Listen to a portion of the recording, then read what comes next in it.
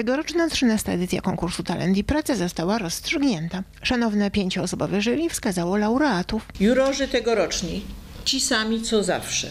Pani Stanisława Helbin, pani Barbara Chuderska, pan Jan Wolański obecny tutaj z nami, pan Artur Żurawik, który równocześnie jest y, szefem całości i ksiądz Lucjan Bielas przyznali następujące nagrody.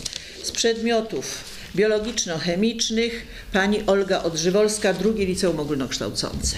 Z przedmiotów e, matematyczno-fizycznych pan Rafał, Patryk, przepraszam, Tomczyk, drugie liceum ogólnokształcące i e, nagroda humanistyczna pan Rafał Chrystow, Chrystow, e, pierwsze liceum ogólnokształcące. Nagroda muzyczna jest znana, bo już była ogłaszana, ale przypomnę, że to Ania Tesarczyk ze Szkoły Muzycznej w Jaworznie.